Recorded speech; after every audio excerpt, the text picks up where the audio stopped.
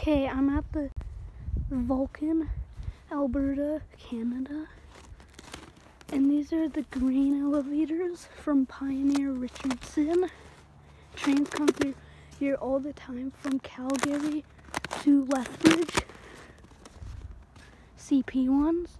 And I'm just seeing if I can catch a train.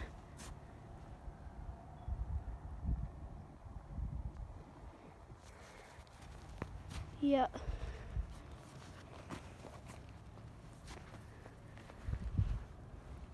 So, yeah, they come through through here like every couple hours or every hour, and it's like two something p.m.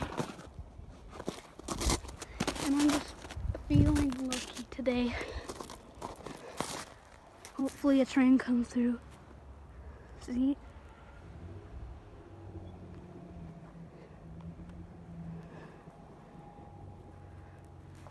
And if there is one, well, then I'm lucky. And if there's not, oh well. And see over there, that's the train tracks. Guy just locked up that gate. I'm guessing he works over there.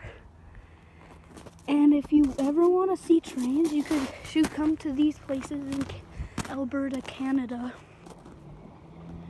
Um, Calgary, Vulcan, where I am, small town, south of Calgary. Lethbridge, Banff. Those are some good places.